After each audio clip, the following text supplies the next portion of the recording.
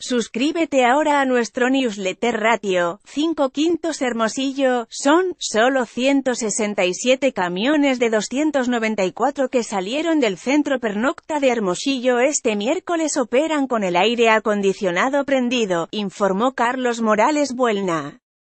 El director del transporte del Estado, señaló que constantemente se realizan verificaciones al transporte urbano de Hermosillo para ver cuántos tienen el aire encendido. Indicó que son 12 inspectores los que están realizando estas verificaciones.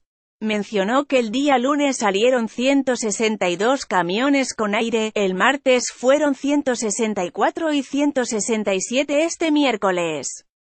Estamos verificando todos los días que las condiciones de las unidades que cobran 9 pesos tengan el aire prendido, si no, que cobren 8, dijo. Morales Buelna comentó que en todo el estado se han aplicado 107 multas y amonestaciones en diferentes tiempos, porque así lo establece la ley. Tan solo en Hermosillo se aplicaron 38 de hasta 100 unidades de medida y actualización, UMAs, por fallas reiteradas en las unidades.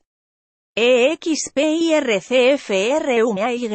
2018 Calificar la nota. 1 Rating. Yo Expreso Repórtanos por WhatsApp 662 126 2721